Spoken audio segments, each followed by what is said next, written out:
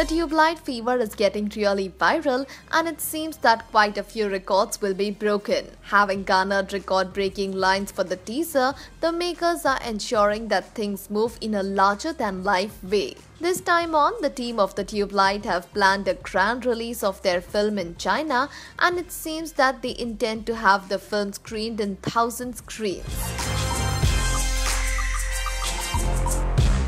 Wow, now that's one huge number.